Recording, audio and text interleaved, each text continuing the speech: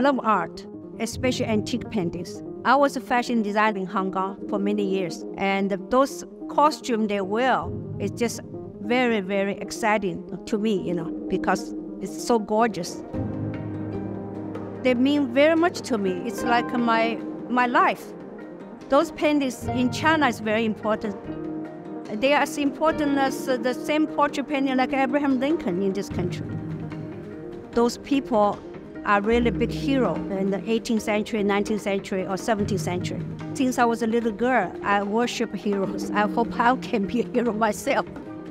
I would like to give very good advice to the young generation.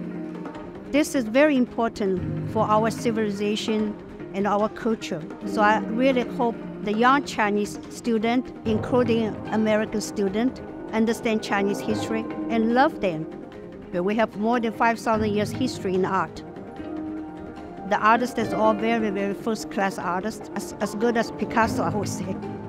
I'm so happy today here, and I want to thank for all the people in the Sotheby's to do all the work for me. I'm very, very grateful and appreciate it, and I'm so happy here.